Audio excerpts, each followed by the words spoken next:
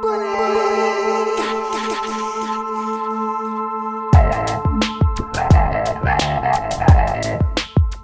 everyone, this is my 3 litre Toyota engine running between 40 and 50% on HHO water gas.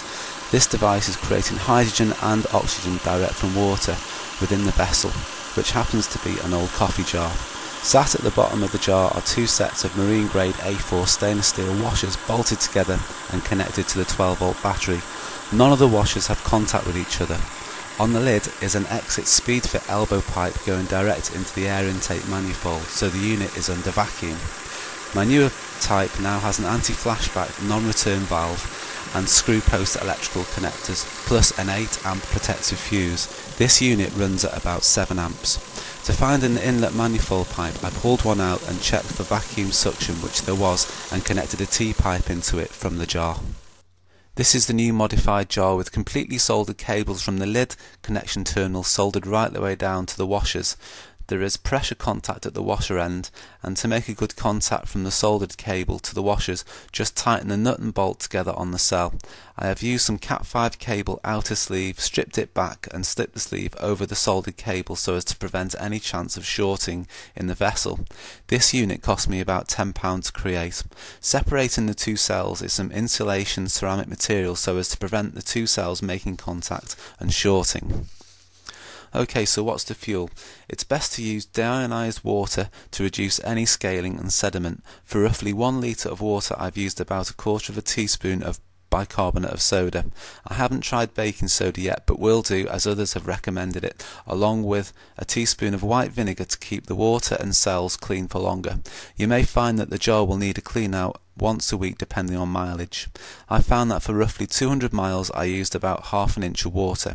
You need to be aware that the more baking soda you mix will give you an increase in ampage draw plus heat plus increase in gas production. So a happy medium mix is required and will vary depending on your device and car's characteristics. Also I found that the warmer the cells get the more gas is produced. Plus an increase in revs from the car's engine increases alternator ampage output, which also increases gas production. Here I have the new jar and non-return valve connected to a bubbler. On the lid is the exit elbow and screw power terminals connected to a 12 volt battery. As a proof of concept, the washing up liquid bubbles will be lit.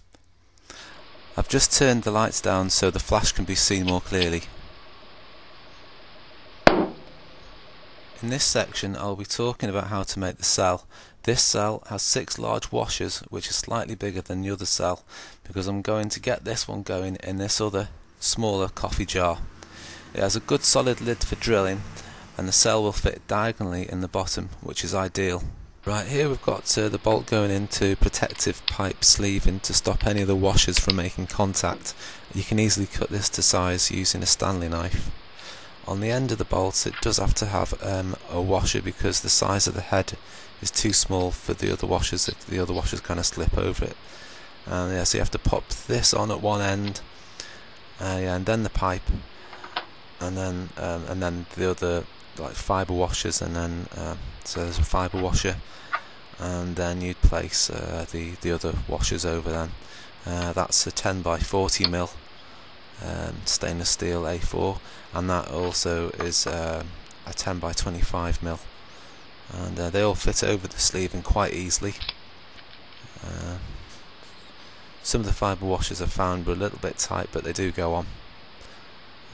Is on on the ends there that's once the cell's tightened up and the soldered cable is wrapped around the, the plastic centre sleeve there and you tighten it up then you'll get a good connection against the washer this is uh, the side view of the washer so you get a good idea of how I've constructed them. Uh, you can see there's three small washers in between two larger washers in, in each of the segments and a fibre washer. I just wanted to show you the old vessel that I made uh, using just standard cable.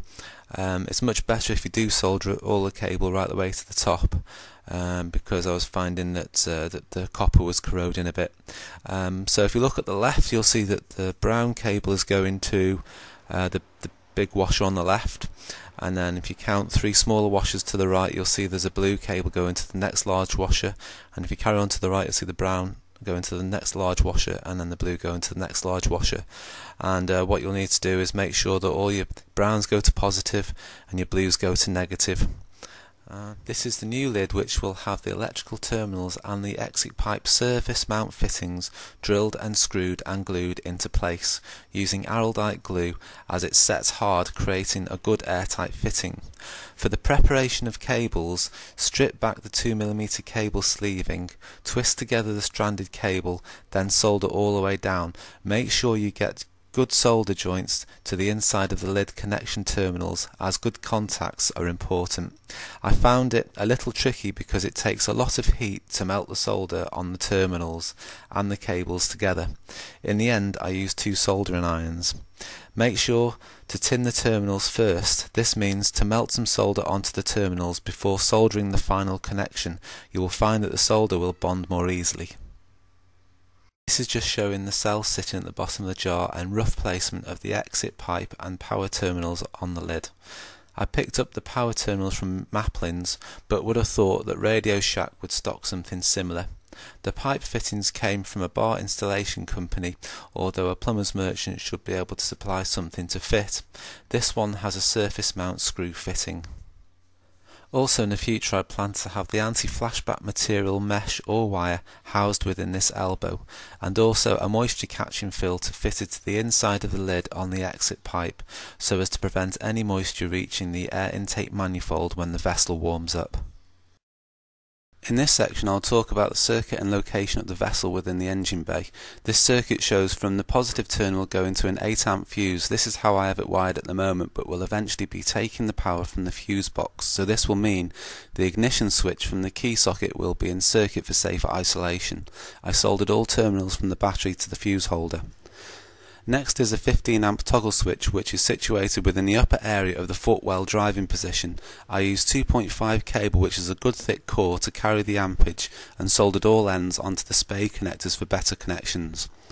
On the inside of the lid of the exit pipe I plan to use a cheap inline fuel filter first to see how it copes and will also house a flashback mesh wire in the elbows and pipe from the vessel.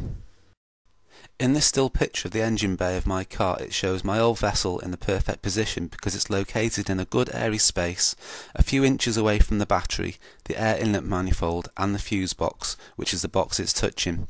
Not all cars will be this simple to install, but it gives you a good idea of what to look for when determining suitable locations for the vessel. Once you have found your location, then find the jar to fit in that area and take it from there. I've noticed that some people are using bubble jars in line but I'm trying to avoid this but keep it safe as I've found there is better gas production under a direct vacuum. It's up to you. Just a quick note that some people have had problems where for the first week their car fuel efficiency was showing a definite improvement, only to find that over time it deteriorated. One vessel manufacturer has suggested moving the oxygen sensor from one side of the catalytic converter to the other, which he says overcomes this problem. I suppose you could also put a reset switch in line to reset that area of the engine management system, or install another mapper. The great advantage of this technology is that the water that remains in the vessel stays water after use and doesn't go acid or become hazardous. Also when the HHO gas burns, the only emissions and vapours are water so it burns clean, meaning your exhaust fumes burn cleaner, reducing your carbon emissions.